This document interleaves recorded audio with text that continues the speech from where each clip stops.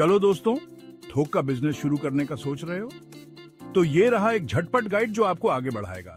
सबसे पहले एक मज़बूत बिज़नेस प्लान बनाओ। अपने गोल सेट करो मार्केट की रिसर्च करो और अपने फाइनेंस का पूरा हिसाब रखो। इसके बाद लीगल काम निपटाओ। अपना बिज़नेस रजिस्टर करो, ज़रूरी लाइसेंस लो और जीएसटी के लिए साइन अप करो। अब एक अच्छी लोकेशन ढूंढो जहाँ स्टोरेज की सही सुविधा हो।